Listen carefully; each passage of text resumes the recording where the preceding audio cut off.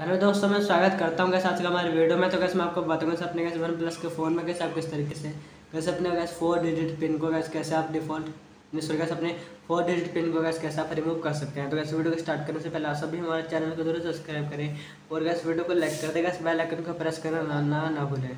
तो स्टार्ट करते हैं कैसे आज का वीडियो तो कैसे आपको यहाँ पर सबसे पहले क्या करना है?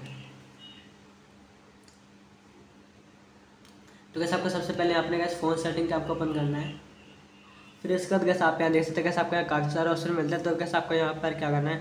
वैसे आपको अपने कैसे पासवर्ड और सिक्योरिटी का ऑप्शन पे क्लिक करना है। फिर कैसे आपको लॉग स्क्रीन पासवर्ड पे क्लिक करना है। और फिर कैसे अपने जो पैटर्न है कैसे आपका पैटर्न कैसे अपना जो फोर डिजिट है कैसे आपको एंटर करना है। फिर कैसे आपको ऑप्शन मिलता है कैसे आपको यहाँ टर्न ऑफ़ पासवर्ड आपको इस पर क्लिक करना है और कैसे आपको कैसे अपना पिन एंटर कर देना है। तो वैसे कुछ इस तरीके से कैसे अपने कैसे जो फोर डिजिट पिन है। वैसे आप उसको रिमूव कर सकते हैं अपने कैसे प्लस के फ़ोन में। तो वैसे आज हमारे वीडियो में इतना ही। तो वैसे आई होप कैसे सभी को वीडियो पसंद आई होगी।